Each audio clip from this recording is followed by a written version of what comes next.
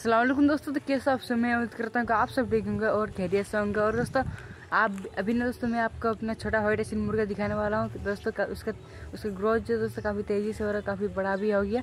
और आपको मैं बहुत दिन के बाद बाद दिखाता हूँ ताकि आपको उसका मतलब फ़र्क पता चले कितनी जल्दी बड़ा हो रहा है। तो चलिए दोस्तों, आपको मैं अपना छोटा वाइट एसिन मुर्गा दिखाता हूँ। बहुत ही प्यारा लगता है दोस्तों अब जो है। चलिए आपको मैं अपना छोटा वाइट सिल मुर्गा दिखाता हूँ वो तो अभी बड़ा हो गया, उसको छोटा नहीं कह सकते। अपना सिल मुर्गा दिखाता हूँ, चलिए। बहुत ही प्यारा लगता है अब।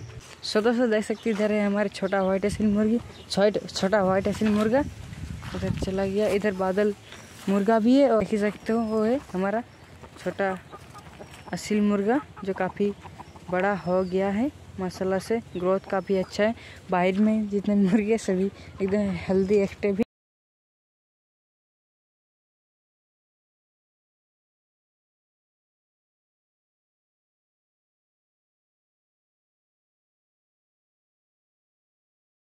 सो so, दोस्तों इधर मैंने अपने बड़ा व्हाइट एसिल मुर्गी को खुराक बिठाया था लेकिन उसके जगह पर मैंने अपने छोटा व्हाइट एसिल मुर्गी खुराक बिठा दिया। कल दोस्तों मसला हो गया है हो गया था और दोस्तों हमारे जो बड़ा व्हाइट एसिल मुर्गी है दोस्तों मतलब कहाँ पर खुराक बैठ गई है इधर से उठ के और मैं काफ़ी ज़्यादा ढूंढा लेकिन उसको नहीं मिला इसीलिए ये भी कुड़क हो गई थी इसीलिए मैंने इसको बड़ा व्हाइट एसिल मुर्गी के अंडे के ऊपर बिठा दिया और अभी तो फ़िलहाल अंडे को एक्सेप्ट भी कर लिया है, कर लिया है, और वो मुर्गी पता नहीं कहाँ पर कूड़ा खो गई बड़ा होइडे से मुर्गी। मैंने काफ़ी ढूंढा, लेकिन नहीं मिला। छोटा से मुर्गी का कलर ब्लैक हो गया है। सो दोस्तों, अभी मैं फार्म पर आ चुका हूँ, और ये जो मुर्गी है दोस्तों ब्लैक कलर की, इसने दो चीज़ें निकाली है, और दो ही चीज़ें निकाली है सिर्फ़, और सो दोस्तों फार्म में जितना भी मुर्गियाँ घूमती है, असली मुर्गा मुर्गी, और दोस्तों, इधर है सारा इस घर के अंदर है, घर के अंदर। और दोस्तों, आज ना एक गुड न्यूज़ है।